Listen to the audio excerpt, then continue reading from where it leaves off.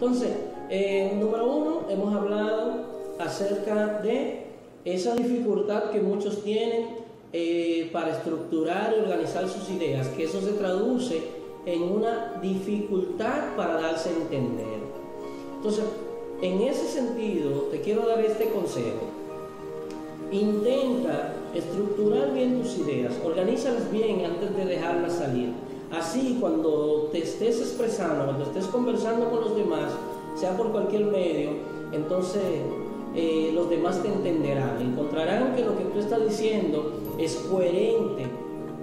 Otro de los puntos que estuvimos tratando en este corto video fue el tema relacionado con el lenguaje corporal y la postura. Te quiero dar este consejo. A la hora de interactuar con otras personas, intenta eh, hacerlo teniendo una postura adecuada, eh, utilizando los ademanes y, gestos que muestren interés y atención hacia la persona que te está escuchando. También intenta que eh, lo que digas corresponda con tu lenguaje corporal. Este consejo que te doy con relación a lo que es el lenguaje corporal y la postura, te puede ayudar a interactuar con los demás de un modo positivo. También estuve hablando sobre eh, el, uso de los canales adecuados. A la hora de nosotros eh, resolver conflictos o hacer planteamientos o resolver situaciones en el trabajo, es bueno que utilicemos los canales correctos para no eh, causar fricciones con los compañeros. Lo mismo nos pasa con la relación de pareja. A la hora de resolver nuestros conflictos también tratemos de utilizar los canales correctos y tratemos de no ventilar nuestros problemas en las redes sociales o con personas que son poco confiables y que, son, y que no son discretas, porque eso te va a hacer daño. Eso te va a causar problema. Y por último estuvimos hablando acerca de la asertividad.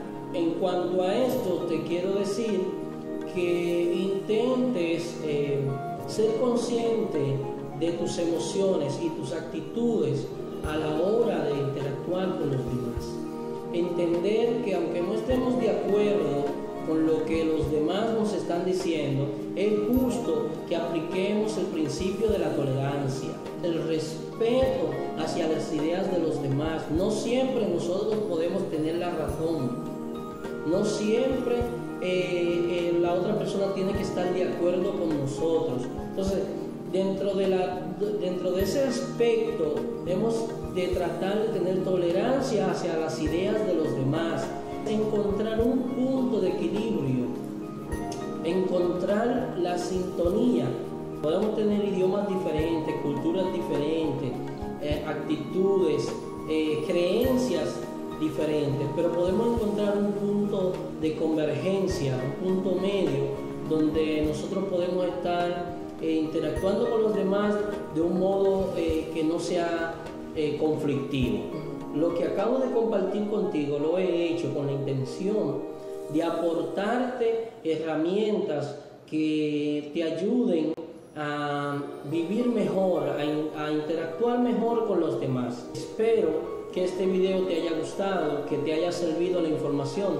Si es así, házmelo saber. Para mí es importante la retroalimentación. Cualquier pregunta la puedes hacer en nuestro canal. Solo tienes que comentar debajo de este video. Puedes compartirlo y si no te has suscrito a mi canal, suscríbete para ver más. Aquí entre nos, este ha sido César Ramos y esto es Tinker Group.